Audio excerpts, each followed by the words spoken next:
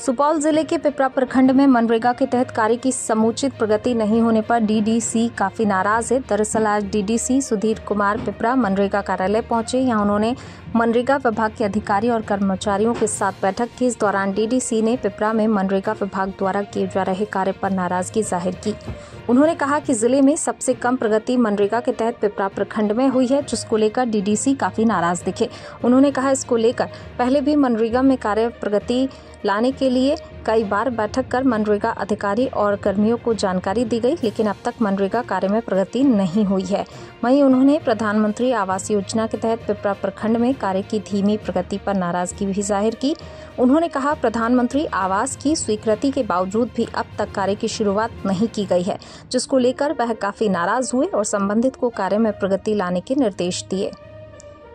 Are Bharat के लिए, दिलदार खान की रिपोर्ट।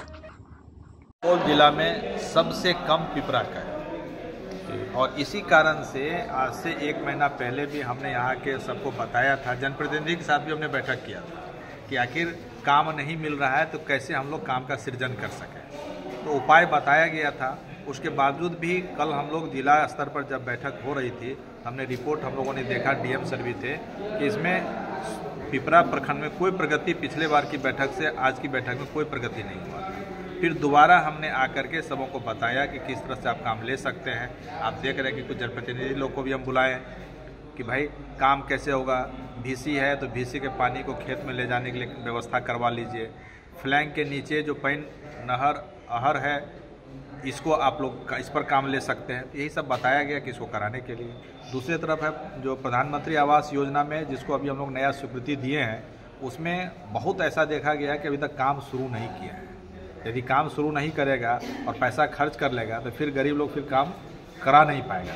ये सभी आवास सहायक को हम लोगों ने बताया कि जा कर के अपने फ़ील्ड में जाएँ। फ़ील्ड में जा कर के लोगों को पैसा चला गया है, उसका पैसा निकलवा करके मटेरियल गिरवाइए, उसको उसको फैसिलिटेट करिए सो दैट कि वो काम करवा सकें।